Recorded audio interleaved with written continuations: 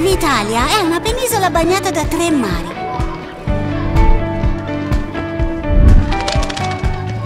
L'Italia è uno dei paesi europei con la maggiore biodiversità. Accoglie 58.000 specie animali e 7.000 vegetali.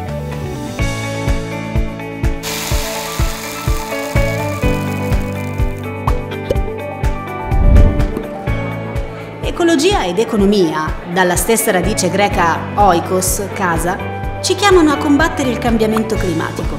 Sviluppo e transizione ecologica possono essere pensati insieme in una visione pragmatica e non ideologica. Umanità e ambiente devono restare interconnessi, vivere in armonia lo stesso ciclo naturale. In Italia stiamo investendo in energia rinnovabile, mobilità più sostenibile, una nuova economia circolare della crescita.